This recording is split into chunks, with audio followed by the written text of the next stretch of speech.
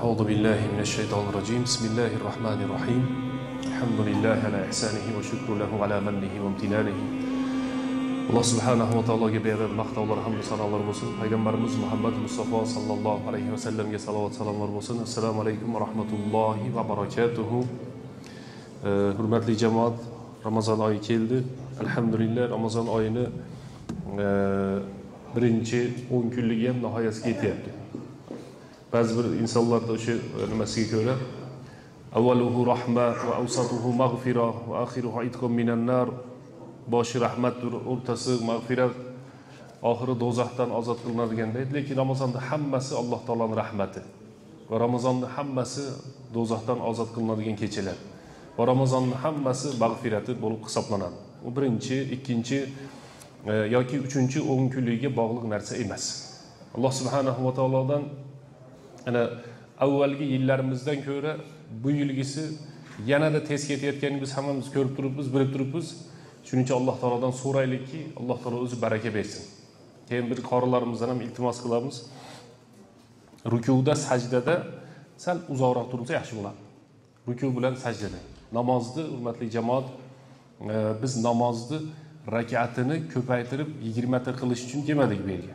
Albatta yigirma rakat o'qishimiz kerak. Lekin namozni asosiy qismi va maqsadi sajda. Payg'ambarimiz sollallohu alayhi vasallam hadisda aytyaptilarki ruku qilinayotgan vaqtda alloh subhanahu va taoloni ulug'langlar va aqrabu ma yakunul abdu min robbihi va huwa sajid. Sajda qilayotgan vaqtda esa inson bilan alloh taoloni o'rtasi eng yaqin o'rin bo'ladi. Sajdada duo qilinglar dedilar. Yana biz sajdada turgan vaqtimizda alloh subhanahu va taoloni subhan robbiyal a'la eng ulug' oliy bo'lgan robbimiz pokparvardigoro deymizda. Undan so'ng deydi ulamolar o'zini nafl duolarni qilsa bo'ladi. Shuning uchun biz jamoatimizga aytamiz e, bu yerda darrov yigirmatani o'tkazib qo'yib turib mana ey xudo yigirmata o'qib qo'ydim men deb e, ketgani kelmadik. Va vaqt sizga ham menga ham hech kimga rahm qilmaydi. Vaqtni bilib turibmizki bugun e, men adashmasam to'qqizinchi tarava to'qqizmi to'qqizinchi tarava sakkizinchi ro'zani tutdik to'qqizinchi tarava demak nihoyasiga yetyapti birinchi o'n kunlik. Shuning uchun e, ibodatda shoshilmaylik hurmatli jamoat. Ibodat qilayotganimizda shoshilmaylik va rukuda sajdada xotirjamchilik bilan bo'laylik. Keyingisi ramazon oyi g'animat hurmatli jamoat. Ramazon oyi juda yam tez o'tib ketib qoladi. Oldin yoshlik paytimizda ro'zani bunday ramazonni tarovehlarni o'qiganlarimiz eslasak o'sha vaqtlar ham sal bellarimiz tizzalarimiz og'rib qoladi. Undan keyin yillar ham o'tib ketibdi. Bunisi ham o'tib ketadi. Shu safar o'qiyotganimiz ham o'tib ketadi. Va undan tashqari o'zi aslida yoshi ulug'lar ko'proq ibodatga mahkam bo'lar ekan. Yoshi ulug'lar. Yoshlarni beli ko'proq og'rib qolyapti. Yoki tizzasi ko'proq og'rib qolyapti. Payg'ambarimiz sollallohu alayhi vasallam hadisda aytdilarki qaysi inson imom ketishdan avval ketsa ya'ni taroveh tugamasdan turib turib ketsa shu inson ulug' savobdan quruq qoldi. Qaysi savob desa tuhsabu qiyamu layla degan. Kim imom hatta yansarifal imam imom namozini nihoyasiga yetkazib joyidan jilmaguncha imom bilan birga tursa bu mafhum al muxolafa degan qoidaga ko'ra.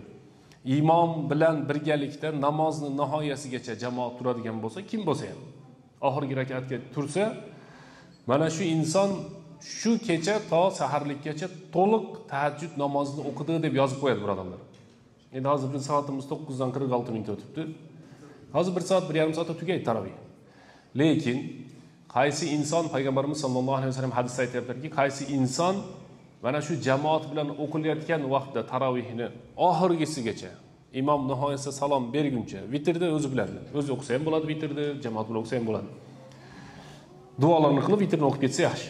Oxirigacha turadigan bo'lsa tuhsabu lahu qiyamul layla dedilar. Qiyomul layl. To'liq o'sha kuni kechasi namozni tahajjud bilan qoyim o'tkazi degan savoblar olinadi. O'zi bugungi mavzuyimiz hurmatli jamoat asbab suul xotima.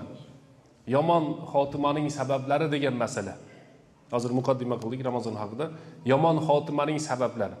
Xotima ikki xil bo'ladi. Hammamizga mashhur va ma'lum bo'lgan hadis payg'ambarimiz sollallohu alayhi vasallam aytyaptilarki innamal amal bin niyat ikkinchisi innamal amal bil xavotim mana shu ikkala hadisni bir biriga bog'lash kerak.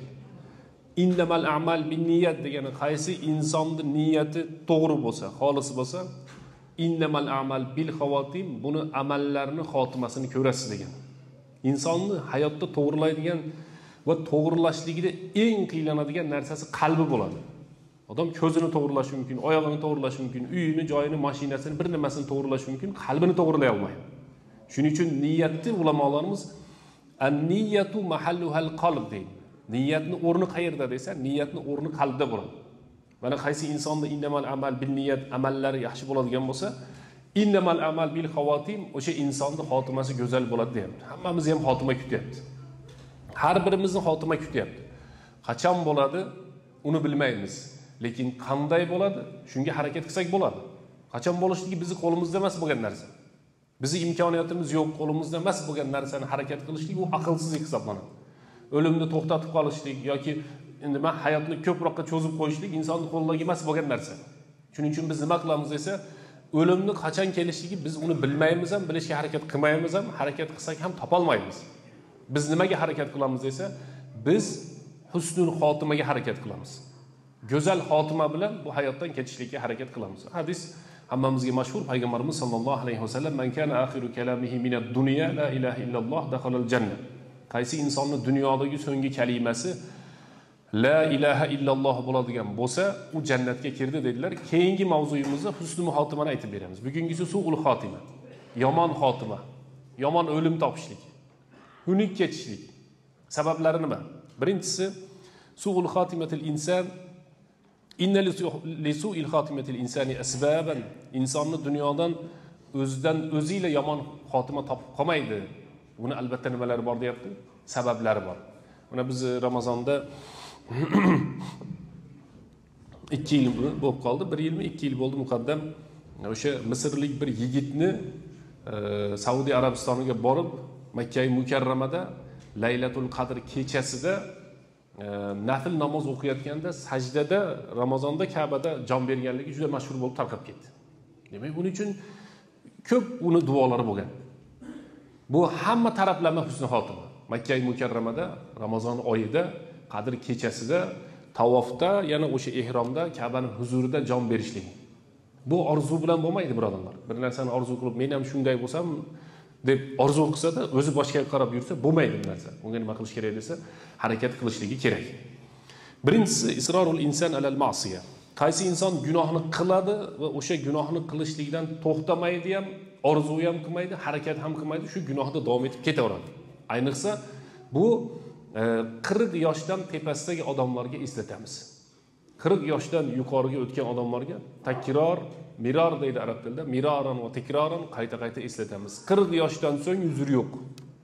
Qirqdan so'ng uzr yo'q. Nimaga? Aql mukammal bo'ladigan yosh qirq yosh. Payg'ambarlik keladigan yosh qirq yosh va davondan o'tib ketgan yosh ham qirq yosh. Alloh taolo qur'oni karimda hatta iza balag'a ashuddahu va balag'a arbaina sanatan deyapti. O'zini mukammalligiga ketganda. Yetganda va qirqqa kirganda deyapti alloh taolo. Qirqqa kirdi degan oyat bor. Qola robbi avzi'ni an ashkura ni'mataka allati an'amta alayya. Ey robbim menga bergan ne'matlaringga shukur qilishlikni o'zing menga bergin deyapti. Ya'ni shuncha ne'mat berding endi men shukur qilishni ham o'rganay. Alhamdulillah menga ko'p ne'matlarni berding. Va an amala solihan degan. Buni buyog'iga men solih amalimni ko'paytiray. Aslihli fi zurriyati zurriyotlarimni o'zing isloh qilgin. Ota ona haqida bola chaqa haqida hamda o'zini isloh bo'lishligi haqida alloh taologa shukur qilishlik haqidagi oyat qirq yoshga kelgan. Shuning uchun biz aytamizki hurmatli jamoat qirq yoshdan so'ng uzr yo'q.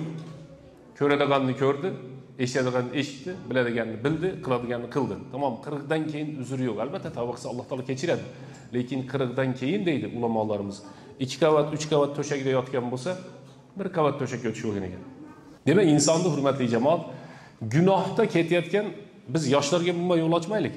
Yoshlar masalan gunoh qilayotgan bo'lsa uzr topmaymiz. Lekin qirqdan keyin gunoh qilayotgan odam bir o'ylab qo'ysin.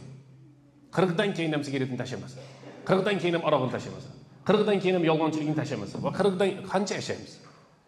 O'ylaylikchi bu dunyoda qancha yashaymiz? Payg'ambarimiz sollallohu alayhi vasallam meni ummatimni umri oltmish yetmishni orasida deyaptilar. Undan o'tib ketadigani bor unga yetmaydigani bor. Lekin qirqdan so'ng hurmatli jamoat uzr yo'q qirqdan so'ng nima yo'q ekan? Uzr yo'q qirqdan keyin inson to'liq o'zgarishligi kerak. Al isror alal ma'siya degan inson gunohda haliyam davom etaveradi degani demak bu inson gunohdan to'xtamasa davom etyapti. Yana yana davom etyaptimi? Alloh subhanahu va taolo yomonlikni ustida jon olib qo'yadi.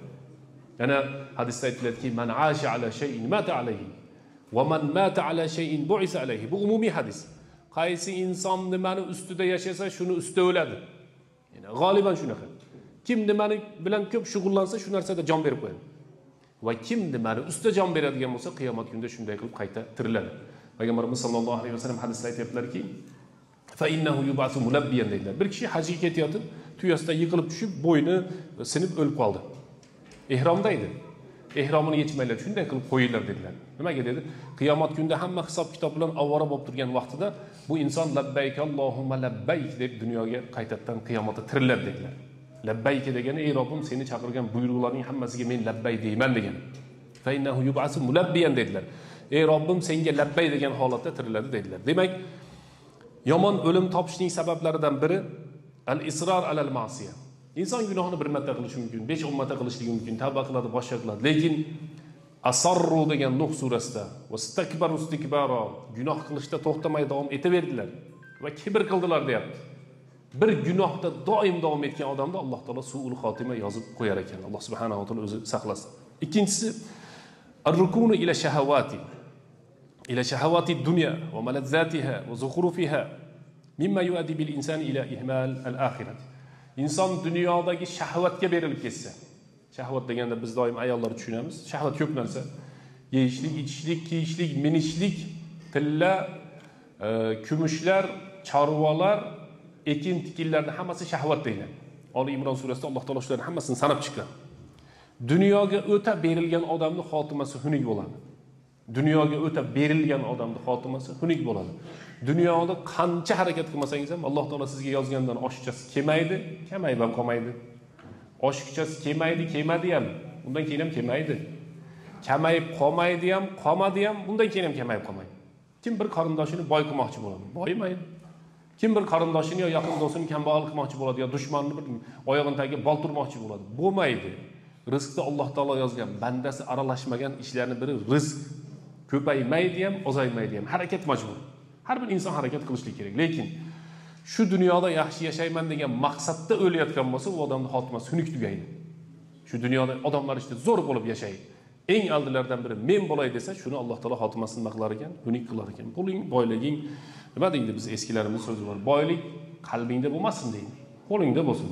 Boylikka sen qul bo'lma. Boylik senga qul bo'lsin deydi. Demak birinchisi bir gunohga ilashib shunga ergashib doim bajarib va isror degani shuni to'xtamay qilib yurgan odamni e, xotimasi xunuk bo'ladi. Ikkinchisi dunyo shahvatlariga berilib ketgan insonni xotimasi xunuk bo'ladi. Uchinchisi mutakabbir inson deyapti. Isobati qolbil inson bil kibri val hasadi val hiqd. Hech ko'rinmaydigan odamlar bor. Mutakabbir odamlar. Kibr hammamizda ham bor alloh taolo saqlasin. Chunki hadisda misqol zarrasi kibr bo'lsa juda qo'rqinchli hadisda. Qalbida misqol zarrasicha kibr bo'ladigan bo'lsa nima deyapti? Jannatga kirmaydi deyapti. Agar biz o'zimizni kibrimizni bir umr to'g'irlasak vaqt ketadida misqol zarrasi degani misqol zarrasini ko'rman nima ko'z bilan ko'rishlik mumkin emas ekan. Hadisda payg'ambarimiz sollallohu alayhi vasallam aytyaptilarki qaysi insonni qalbida misqol zarrasichalik kibr bo'ladigan bo'lsa alloh taolo uni jannatga kirgizmaydi deyapti. Endi bu hammamizga tegishli so'z bo'lib qoladi. Demak inson xotimasi xunuk bo'lishligi mutakabbir. Bularni kattasi fir'avn mana hozir oyatlarda o'qidi qori akamiz fir'avn haqidagi bo'lgan qissalarni sehrgarlar bilan bo'lgan qissalarni o'qidiki fir'avn ha men men zo'rman men kuchliman deb oxiri men mutakabbirman deb men xudoman deb yuborgan qola ana robbukumul a'la eng oliy robbilaring menman degan. Demak hurmatli jamoat masalani men boshida aytib o'tdim insonni bu dunyodagi eng to'g'rilashi kerak bo'lgan narsalardan biri qalb. Kibr qayerda bo'ladi desa qalbda bo'ladi. Ana kibrda bir nozik nuqtasi bor. Ba'zi bir insonlar juda o'zini kamtar oladi. O'shalar eng mutakabbir odamlar. Ba'zi bir insonlar juda o'zini kamtar oladi. Shular eng mutakabbir odamlar. Ma'nosi nima desa meni odamlar mutakabbir demasin deb odamlar uchun o'zini past sanayotgan odam mutakabbir hisoblanadi shariatda. Kibr boshqa narsa birodarlar o'zi mensimaydi hech kim. Ha yaxshimisiz tuzimsiz deb turadi yonboshda sekin. Bu mutakabbir. O'sha ayni mutakabbir tarixda bir olim odam aytadiki nima deydi? Bizda ham maqol bor. Oshiqcha kamtarlik manmanlik deydi. Shunaqami shunday maqol bor a kamtar oshiqcha ha oshiqcha kamtarlik. Kibr degani birodarlar haqni tan olmaslik boshqalarni mensimaslik. Shuning uchun mana unday nozik joydan ehtiyot bo'laylikda. Riyo degani nima desa el ko'rsin.